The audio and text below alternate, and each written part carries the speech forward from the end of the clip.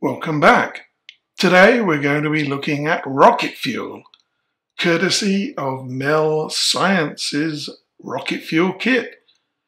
If you didn't see my video on the uh, basic lab kit, uh, go check it out. There'll be a link at the end of the video.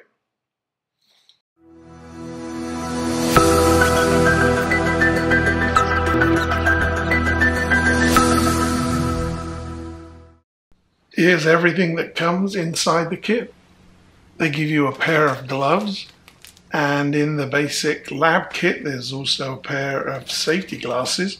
Make sure to wear them. There's a whole bunch of chemicals that come with this kit, enough to run each of the three experiments twice.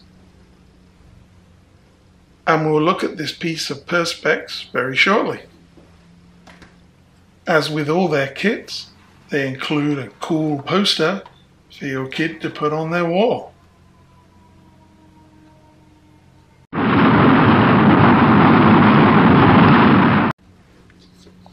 First, we're going to construct the safety shield. It's nice of them to include this in the kit, and you could use it with a lot of other experiments.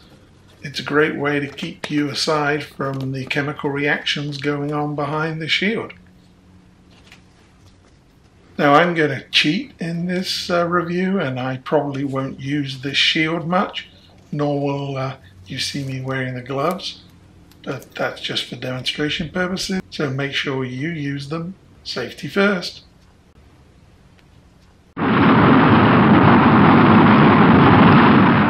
First, we're going to make some solid fuel and then ignite it.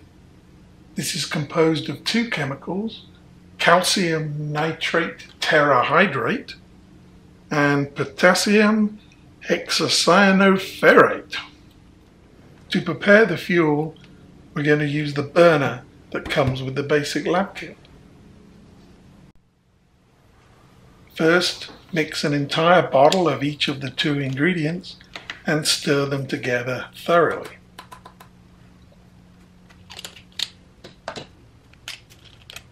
In my kit, the calcium nitrate got stuck on the inside of the bottle, so I had to scrape it out.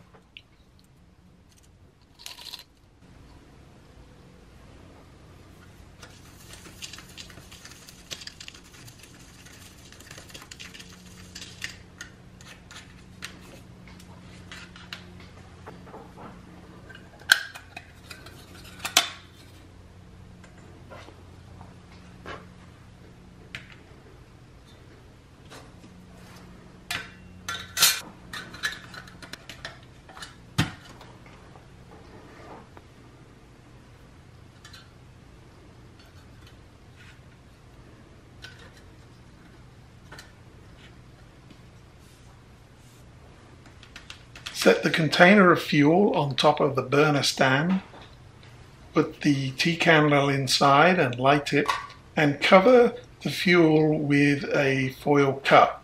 This is to remove the moisture from the mixture.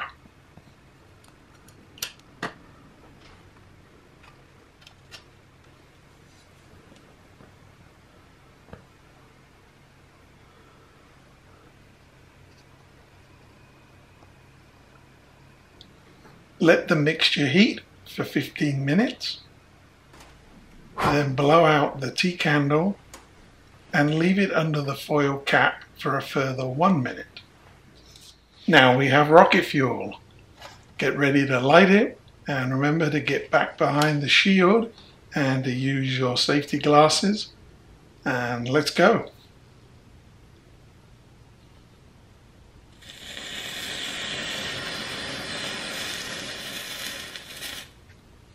It burns pretty quickly, and now we're just left with ash.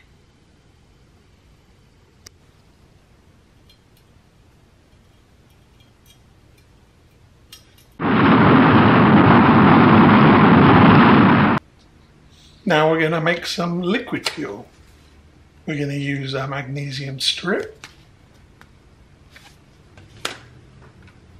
and sodium hydrogen sulfate. First of all, we're going to construct the uh, firing system, where basically we're going to generate a spark which will ignite the fuel. Bend the paper clips and put them through the holes in the red bung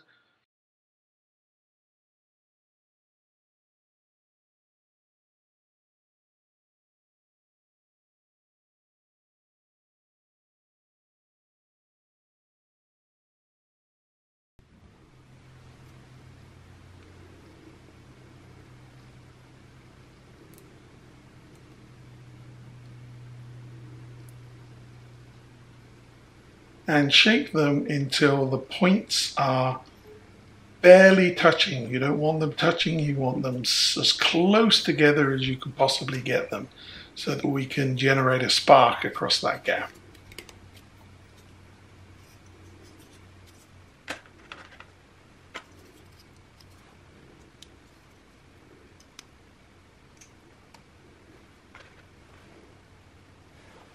Then we're going to wire up this firing mechanism to our piezo gun, which is going to generate a short pulse of electricity.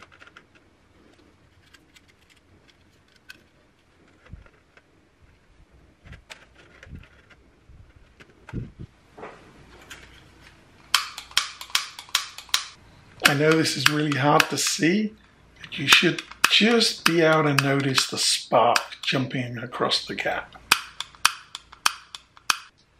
Fill a test tube with the entire bottle of sodium hydrogen sulfate.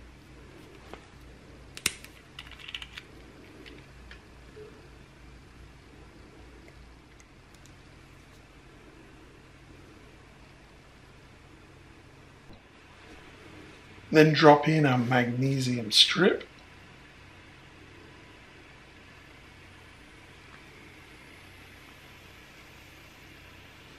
put a test tube on the top. Let the magnesium react with the fluid and this is going to put gas into that test tube. That's actually going to be our fuel. As quick as you can, move the test tube from the bottle of fluid to your firing assembly. Click away until the spark ignites the fuel and the test tube rocket flies into the air.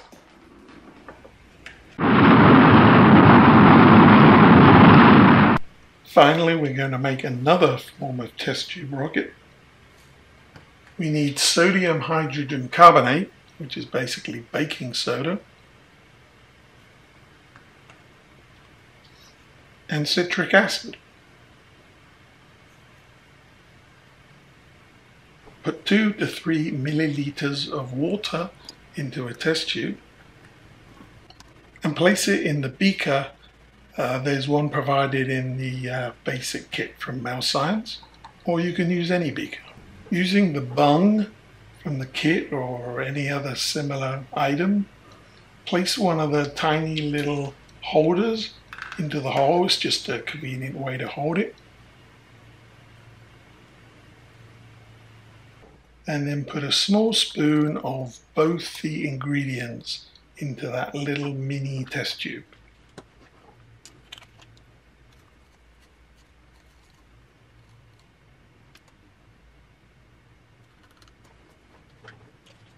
Not seal the top and carefully place it inside the test tube you put water in, but don't let it touch the water. Just lodge it in the top.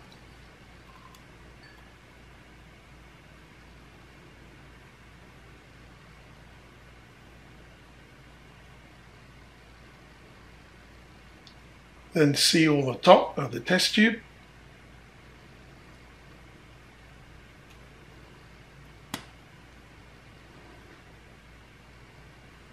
Quickly tip it upside down in the beaker. And now the powders will fall straight down into the water and react and that gas that it produces will propel your test tube into the air.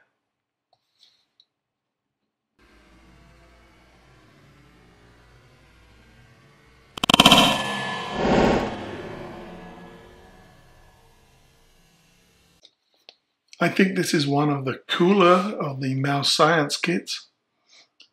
Who doesn't love launching rockets, right? I think you can have a lot of fun running these kits with your experiments. And you'll notice that uh, in the firing experiments, the test tubes can go right across the room. Mine did. It bounced off the far wall. All in all, I think this kit is very carefully put together and it joins the ranks of all the very solidly constructed and well thought out kits from Mel Science. If you like this video and you want to see more reviews of science kits, please subscribe, please like, and drop me some comments on how you get on running your own experiments. I'd love to hear how that goes. Until then, have fun with science. Cheerio.